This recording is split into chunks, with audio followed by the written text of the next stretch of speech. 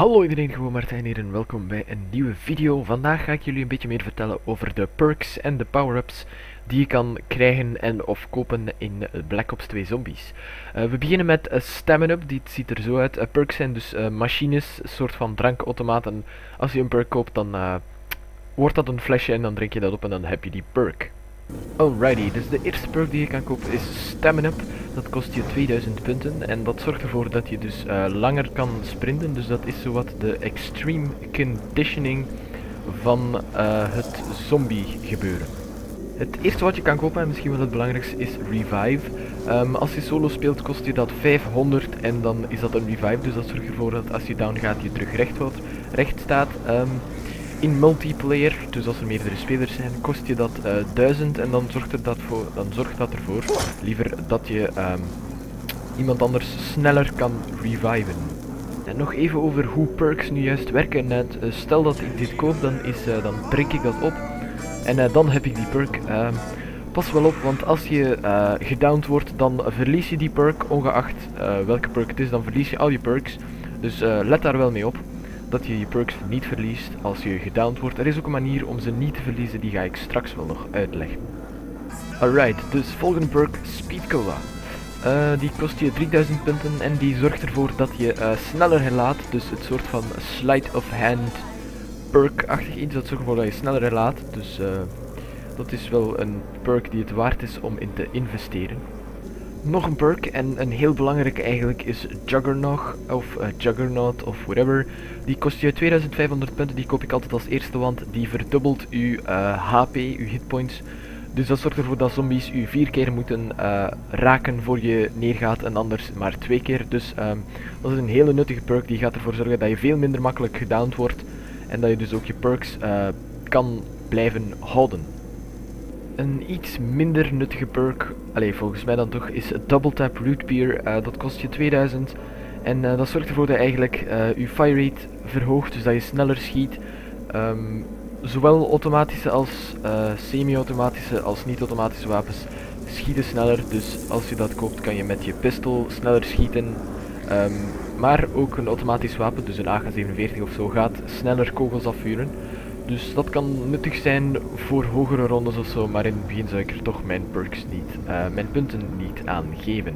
En dan hebben we nog iets dat niet echt 100% een perk is, maar toch een upgrade is van je karakter zelf. Dat zijn de Galvanicles. Uh, die kosten 6000 punten, maar geloof mij, ze zijn het echt wel waard. Uh, Galvanicles zijn een upgrade voor je melee um, en die zijn echt super krachtig. Um, je kan tot en met wave 14, dus dat is heel wat, kan je uh, zombies one-hit killen met Galvanicles. Dus dan moet je één keer ze knifen, alleen één keer één melee hit en uh, de zombies zijn dood. Dus dat is ehm, super sterk. Um, je kan eigenlijk perfect knife only doen tot en met wave 14 uh, eh, met die Galvanicles en zomaar punten blijven opbouwen. Omdat je constant um, ammo, geen, je moet geen constant, je moet constant je moet niet constant, eindelijk, dat is er ook uit. Je moet niet constant om ammo lopen en punten daaraan verspillen. Dus um, dat is altijd wel erg handig. Naast perks zijn er in Black Ops 2 Zombies ook power-ups. Hier zien jullie er één van, dat is Instakill. Uh, wat dit doet is, um, eerst en vooral, je ziet dat als een gouden doodskop. Um, zo ziet dat er dus uit. En uh, als je die opraapt, dan krijg je eigenlijk instant kill. Dus als je een zombie uh, raakt, gaat hij dood. Dus als je hem knifet, gaat hij dood na één knife. Schiet hier één kogel in, maakt niet uit waar, dan gaat hij dood. Gooi er een granaat op. Iedere zombie die, grana die geraakt wordt door die granaat, um, is meteen dood. Uh, die insta-kill blijft wel niet eeuwig, dat zou natuurlijk niet eerlijk zijn. Maar uh, ja, je hebt instant kill, dus zeker in hogere rondes kan dit van pas komen. ook op momenten dat je weinig ammo hebt, kan dit van pas komen, want dan kan je gewoon beginnen knifen als je, ze als je ze raakt met je knife zijn ze sowieso dood. Dus dan kan je ook wat ammo uitsparen. Dus een hele krachtige power-up die insta-kill. Alrighty, en nog een uh, interessante power-up is uh, de nuke. Dus zoals jullie zien is deze zombie hier dood gegaan. Uh, en heeft hij een nuke gedropt. Wat is een nuke nu? Wel, zodra je dat pakt worden dan zegt iemand ga boom en dan ontploffen alle zombies uh, die op dat moment in het spel zijn. Dus er kunnen maximaal 24 zombies tegelijk rondlopen op de map. Dus um, dan gaan al die zombies uh, vanzelf dood, alleen die hun hoofden ontploffen. door een nuke of zo. En jij en al je teammates krijgen 400 punten. Dus in kleinere waves kan dit eigenlijk een nadeel zijn ook. Want ehm, per zombie die je killt krijg je 130 punten. Dus um, als er meer dan 3 zombies nog rondlopen en je kan ze gemakkelijk killen, dan zou ik niet voor die nuke gaan. Want dan kill je de zombies en dan heb je veel meer punten. En dan als je ziet dat de nuke begint te verdwijnen, dan gaat hij beginnen knipperen.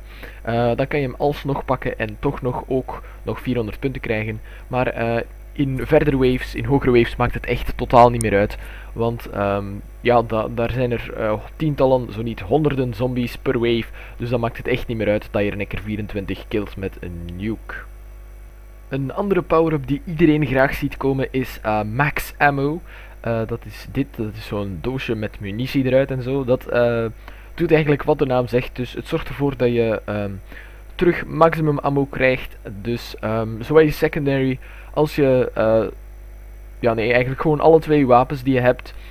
Um, je tactical grenades en je lethal grenades worden aangevuld tot het maximum. Uh, let wel op, um, je clip die in je wapen zit wordt niet refilled. Dus stel je hebt 5 kogels uh, in je clip zitten, uh, geen kogels meer op reserve op te herladen en er kunnen maximaal 8 in je clip en je krijgt de max ammo, dan gaan die 5 niet aangevuld worden tot 8. Dus um, voor je een max ammo opraapt, kan je altijd eerst zorgen dat je um, nog eens herlaat, um, dat je twee clips vol zitten en dat je dan pas die max ammo uh, gebruikt. Ook kan je zorgen dat je um, je tacticals nog snel even weg, uh, je lethals nog snel even allemaal de deur uitgooit voor je die max ammo pakt. ja, dus dat is een hele handige power-up. wel opletten, want als je met meerdere mensen speelt en er ligt iemand uh, dood te gaan, op het moment dat je die max ammo opraapt, zal, uh, zullen gedownde spelers geen max ammo krijgen. Dus wacht even met die max ammo op te rapen tot zij um, terugrecht staan. Dan krijgen zij die ook. Uh, tenzij dat hij aan het verdwijnen is natuurlijk, dan moet je hem echt wel snel uh, pakken. Nog een power-up is uh, double points. Uh, dat is een hele simpele om uit te leggen. Die zorgt er gewoon voor dat je dubbele punt krijgt voor alles wat je doet. Dus als je een zombie uh, raakt met een kogel, dan krijg je in plaats van 10 punten 20 punten. Als je een zombie killt, krijg je in plaats van 130, 100, 260 punten liever. En als je een barrier re repareert, krijg je per plank die je er tegen hangt niet 10 maar 20 punten. Dus dubbele punten. Ehm, dat kan zeer handig zijn uh, in combinatie met andere punten. Bijvoorbeeld als je double points hebt en je krijgt een nuke, krijg je in plaats van 400 punten 800 punten. Enzovoort, enzovoort. Dus um, die double points, uh, ga er zo snel mogelijk voor um, als hij ergens ligt waar je er gemakkelijk aan kan. En dan een iets mindere power-up, maar toch nog altijd handiger, is uh, Carpenter.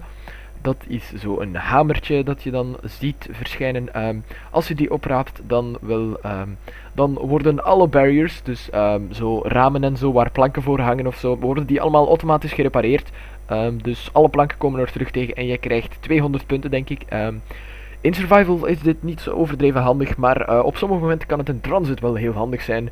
Want uh, de bus bijvoorbeeld, die heeft gelijk uh, eh, 10 ramen waar planken aan zitten of zo. Stel die wordt volledig over over aangevallen door zombies en je bent volledig omsingeld en je ziet ineens een carpenter wel, dan komen al die, ra al die houten planken terug tegen die bus en is die bus weer even veilig. Um, dus ja, dat is een iets minder handige power-up in town, uh, in survival dan. Maar um, in transit kan hij wel handig zijn op sommige momenten. En dan last but not least is de Pack-a-Punch. Um, dat gaat je 5000 kosten om je wapen te pack-a-punchen. En wat doet dat wel? Uh, dat zorgt ervoor dat je wapen uh, heel wat krachtiger wordt. Niet alle wapens uh, worden superkrachtig, maar het zorgt ervoor dat je wapens wel een uh, flinke upgrade krijgen. Dat ze dus een beetje meer punch hebben, de naam zegt het ook wel al zelf. Dat ze dus iets sterker zijn in het killen van zombies. En ja, um, als je later waves, uh, als je echt op hogere waves begint te spelen, dan heb je dat echt wel nodig. Want anders ga je gewoon een gans wapen leeg volledig moeten schieten op een zombie om hem te killen. En dan is extra damage voor je wapen wel nog um, handig. Sommige dingen zijn ook, uh, krijgen ook attachments als je ze pack-a-puncht, bijvoorbeeld LMG's, als je die pack-a-puncht, dan uh, krijg je er de grip attachment op. Niet dat dat echt nodig is, want je sprayt toch constant. Maar, um, en dan krijg je op een LMG bijvoorbeeld de grip attachment. Um, sommige van die traagladende pistooltjes die je normaal uh, kogel per kogel herlaat, herlaat je dan um, ja, alle kogels in één keer. Dus zo'n dingen Ehm, dat zorgt ervoor, ja, dat is echt wel een flinke upgrade van je wapen. Dus ehm, als je dat kan, als je genoeg eh, punten hebt, als je zegt van ik heb al mijn perks gekocht die ik wil kopen ehm, en ik wil wel een steviger wapen van dit wapen maken, ja dan pack punch je dat gewoon en dan heb je een uh, powerful weapon, een krachtiger wapen en het ding is, een sub heeft mij dat vorige keer gezegd in de comments, dus dank daarvoor, is uh, bij wall weapon staat er dus je kan de MK14 kopen hier bijvoorbeeld voor 500 punten, dat gaan we doen. Um, het wapen kost 500 punten. Um, als je het wapen al hebt gekocht kan je voor uh, eh, 250 punten ammo kopen en dan staat er ook nog upgraded ammo. Nu ik dacht van, uh, ja dat is voor een uh, grotere clip size of zo, een upgrade van je ammo, maar dat is niet waar. Stel ik pack punch deze MK14 nu. Um, en die kogels zijn op, dan kan ik hier voor 5000, nee voor 4500 punten uh, gepackepunchte ammo voor mijn MK14 kopen. Dus dat is iets heel handig. Um, op die manier kan je een wapen punchen en altijd de gepackepunchte ammo gaan kopen. Dus um, dat is nog een handigheidje en uh, dat was het zo'n beetje voor nu. Dus um, ik hoop dat jullie een beetje meer uh, weten over de perks en de wapens en de pack-punch en zo in Black Ops 2 Zombies en de power-ups en zo. Want uh, ik heb ondervonden dat dat nog niet bij iedereen duidelijk is wat dat allemaal doet. Dus ik hoop dat jullie dat nu allemaal een beetje beter begrijpen, dat ik het een beetje duidelijker voor jullie heb kunnen maken. En dan zeg ik uh, comment, like en sub en uh, tot later.